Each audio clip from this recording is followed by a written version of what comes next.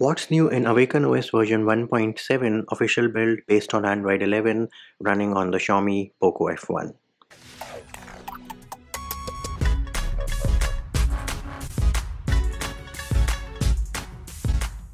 Hey peeps, what's up? Munchy here, back with another video and we have a new official build of Awaken OS version being 1.7 based on Android 11 available for the Xiaomi Poco F1. First change you will notice is that the security patch has been updated to May 2021.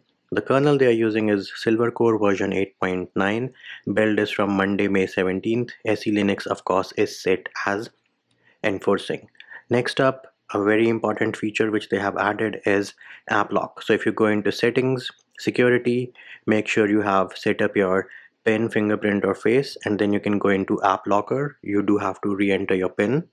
And once you do that you can lock the applications. And as you can see calculator and calendar are locked and I just unlocked the calculator application. And you can also choose to lock app after instantly 15 seconds or screen off. So these are the customizations which you get with app lock. And yes you do have IR face unlock baked in as well another nifty feature which they have added is per app volume so you can go into settings awaken settings themes Herein, scroll down, you should have the option of show app volume. Make sure that this toggle is enabled. Once you enable this, now let us say I go into YouTube, right? And let me try to play this video. Now once I play this video, you will notice if I try to access my volume panel, here it is. And you have a new slider for YouTube itself. So this is my per app volume for YouTube.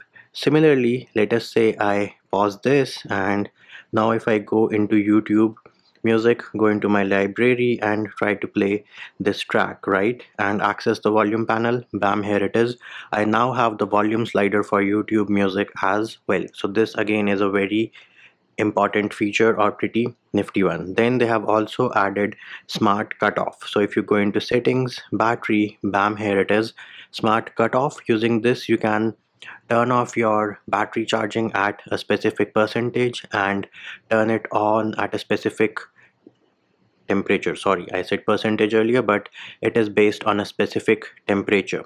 Those of you who are looking for a specific percentage you can go into smart charging and herein you can set the stop and start trigger level based on the percentage. Other than that if you press and hold on the empty screen go into styles and wallpapers. As you can see we do have the new wallpapers from Earth Day and Women's Day and the May patch wallpapers in curated culture. But if you go into clock they have added three new clocks. So they have added the IDE clock from project 404 then they have also added the fluid clock and they have also added the clock from shapeshift os for your lock screen. So those were the new features. Next thing we can check for is safety net. So my device is not rooted right now. I have only installed the latest version of magisk app which is version 23.0 to check for safety net. And as you can see safety net is passing without any issues which means you should be able to use your banking apps as well. In terms of youtube media playback everything works absolutely fine.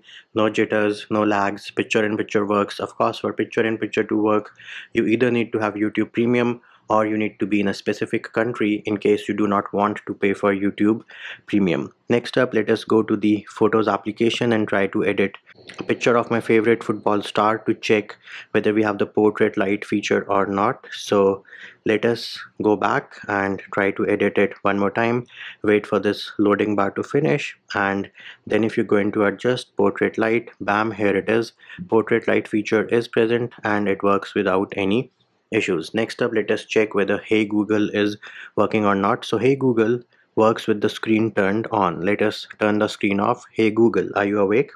And as you can see hey google works with the screen turned off as well. Let me go ahead and use face unlock to unlock the device unlocked without any issues. Next up let us have a look at the app opening animations to see if you have any lags or any jitters in that regard. And as you can see no lags and no jitters. Recents bam here it is.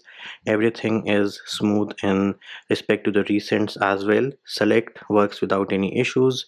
Screenshot also works. Do note i am using the vanilla build of Awaken OS with Nix stock GApps on top. Next up, let us have a look at our Google feed and as you can see, no jitters and no lags in the Google feed either. Let us try switching between a few applications. Everything is pretty smooth, no jitters, no lags with respect to switching between the applications as well. So again, all in all, another great build of Awaken OS for the POCO F1 and of course install video links to features of the previous builds. All those videos can be found in the description of this video and that will do it for this one. Hope my video helped you. Likes shares and subscribes are appreciated. Feedback and comment more than welcome. See you when i see you